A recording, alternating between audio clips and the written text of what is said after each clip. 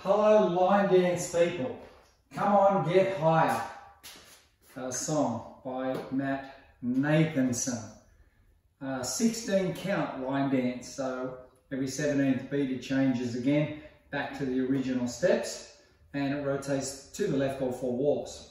All right, so we start with a left foot kick, step sweep with the right step, then I'm going to add a triple right, left, right.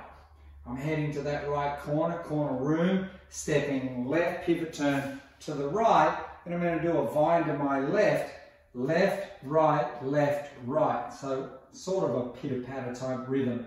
Now I'm going to restart. Second set of eight, which is one and two for a toe heel cross. And swivel ever so slightly to the left, scuff the right heel, stepping out in that forward direction, turning to my left, coming round. Then I'm going to step on the right foot, then swivel to the right, left foot, pop, pop. So two little knee pop, boom, boom. Or accent down, whichever you feel most comfortable with. And then we would start again, repeat that sequence around the room. So if I put that to counts, one, sweep two, ah, three, four, step five, turn six, and seven and eight for my vine.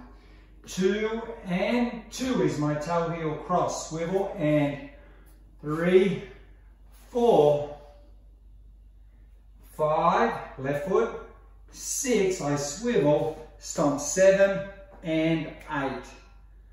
One, two, ah, three, four, five, six, and seven and eight. Two and two, three, four, five, six, seven, and eight. Even if you only pop twice, seven, eight, it'll still look all right. So pretty simple line dance for a beginner. Um, a little bit of fun, I like the song. I just thought I'd do something simple for everybody to stay active during this time off.